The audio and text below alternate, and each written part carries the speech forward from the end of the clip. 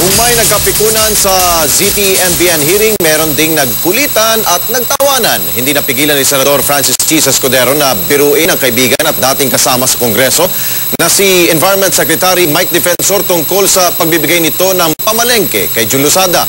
Nakihalo din si Senador Panfilo Lacson sa pangasar kay Defensor. Magkaibigan ba tayo, Mike?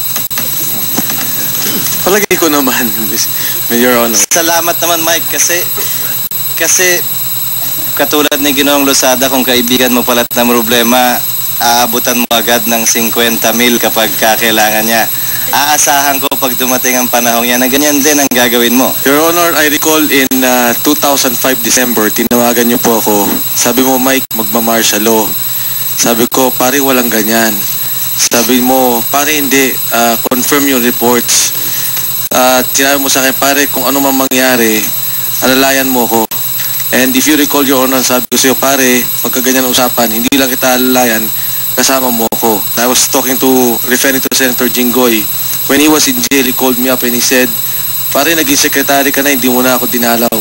In 30 minutes, Your Honor, I went to veterans and visited them. Bakit sila lang nagpapaalala sa inyo kung mag-martial law? Eh, Opposition din kami. Hindi po kayo tumawag sa akin ng situation, pero kasama rin po kayo sa alaala ko. I confirm that may parto nga lang yon. Nung maraming kaguluhan sa labas, tumawag din si Mike at sinabi, Cheese, magkakagulo na yata, ikaw nang bahala. Pinangako ko rin po kay Mike, hindi po lalampas ng limang taon, titiyakin ko, mapapardon po siya.